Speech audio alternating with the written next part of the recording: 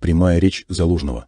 Страна-террорист Российская Федерация наносит массированные ракетные и авиационные удары по территории Украины, применяет ударные БПЛа. Утром агрессором выпущено уже 75 ракет. 41 из них обезврежено нашей ПВО.